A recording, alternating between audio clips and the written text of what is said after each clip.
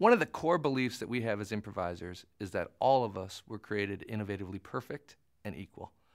We believe that over the course of a lifetime, because of things like parenting, socialization, and perhaps education, that we all stray in different degrees from our most innovative self. We believe this because of kids. It's so easy to observe how creative children are.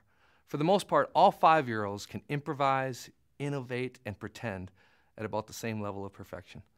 So, the process we use to help people to become more innovative is to simply help them unlearn some of the things that have become innovative inhibitors and to help them gently retrace their steps back to their most innovative self.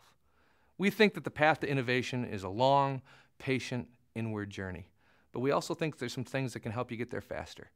Some of them are broad, like learning how to accept new ideas and learning how to defer judgment. And others are just ridiculously simple, like increasing the amount of times you use the conjunction yes and instead of no but.